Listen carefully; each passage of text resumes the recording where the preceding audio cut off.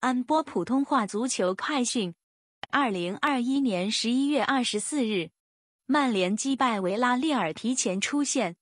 十一月二十四日凌晨一点四十五分，二零二一至二二赛季欧冠联 F 组第五轮，曼联客场挑战维拉利尔。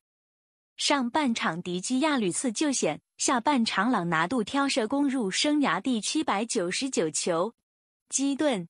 新组收获红魔鬼生涯首球，最终曼联客场二比零战胜维拉利尔。F 组积分榜方面，曼联积十分提前一轮出线。上半场哨响开始，四分钟，摩尔高美斯禁区前沿打门被迪基亚化解。九分钟，阿诺单足马将球转移到左路，耶利美宾奴窄角度抽射打偏了。二十六分钟，记录尔尼后场大脚开出，耶利美宾奴右路到三角回敲，文奴特基路斯跟进劲射被迪基亚救险。二十九分钟，阿利斯泰利斯左路起球，朗拿度头锤攻门角度太正被记录尔尼控制。三十三分钟，基斯坦努朗拿度罚球射门被人墙挡出。四十一分钟。丹尼伯利祖罚球射门稍稍打高，四十二分钟，摩尔高美斯禁区前沿连续晃动后打门，皮球被玉陀连迪路夫挡出底线。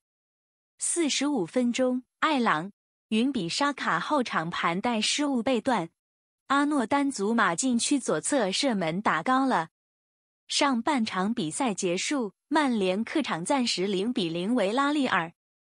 下半场一边再战，五十三分钟，基顿新组传中被挡出，费特洛迪古斯外围一脚远射被记录尔尼没收。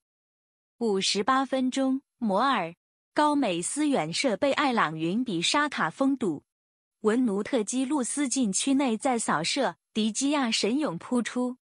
七十分钟，基顿新组高速内切发动攻势。班奴费南迪斯送出直传，基顿新组禁区内晃开角度推射被记录尔尼化解。七十八分钟，记录尔尼后场传球失误，费特洛迪古斯贴身抢断伊天卡普尔，朗拿度一脚轻巧挑射入网，维拉利尔零比一曼联。八十三分钟，艾朗云比沙卡搓传到左路。维拉利尔队员头锤解围失误，朗拿度高速插上捅射滑门而过。九十分钟，曼联的反击机会，马古斯拉舒福特到三角回敲，班奴费南迪斯在横传，基顿新组抽射击中横梁后弹进球门，维拉利尔零比二曼联。全场比赛结束，曼联客场二比零战胜维拉利尔。